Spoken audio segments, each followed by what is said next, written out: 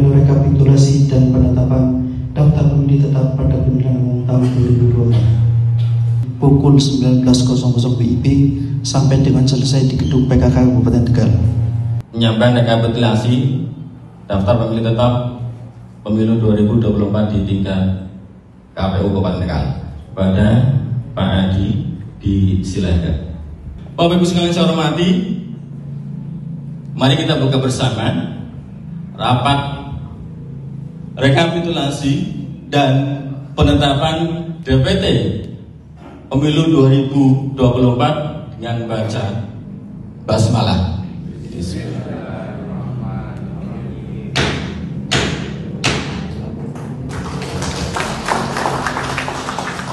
jumlah TPS 321, jumlah pemilih laki-laki 39.909, perempuan 37.556, jumlah total 77.465.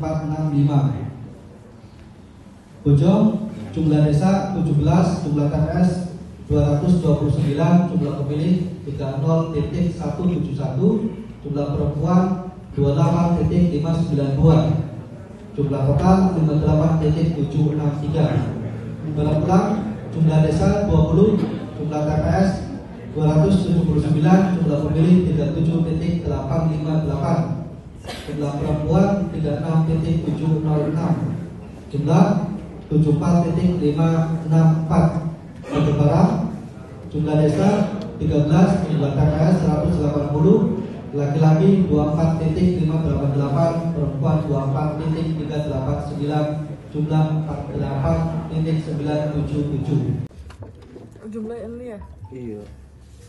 Mas, emang emang ke? daftar kota. Ya wis ganti KTP kota sih. Langsung ke daftar sana ya berarti ya secara otomatis. Untuk di KPU Kabupaten Tegal telah menetapkan DPT untuk pemilu 2024 dengan jumlah 1.242.454 dengan sebaran di 287 desa 4.684 TPS dengan jumlah laki-laki 628.764 perempuan 613.690 jumlah? Total 1.242.454 informasinya ada penurunan kemarin?